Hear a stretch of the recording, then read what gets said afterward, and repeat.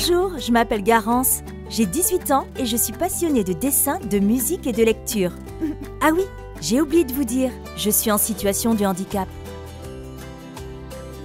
Il m'arrive de sortir certains week-ends, mais j'aimerais faire plus d'activités.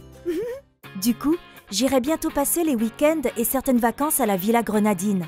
C'est la première maison d'accueil temporaire à Paris pouvant accueillir des enfants polyhandicapés. Je pourrais y faire de nouvelles activités accompagnées par une équipe d'éducateurs et de soignants dédiés. Je connais bien l'endroit. C'est dans le centre médico-social Le Courbe, là où je suis accueillie en semaine.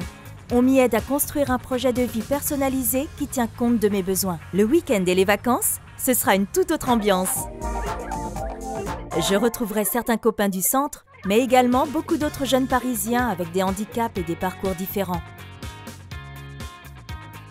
Mes frères et sœurs pourront aussi être invités. Donc c'est cool. J'ai hâte de découvrir cette nouvelle maison. Ma famille aussi. Vous aussi Si vous êtes intéressés, contactez l'équipe. L'ouverture, c'est le 12 janvier. Save the date.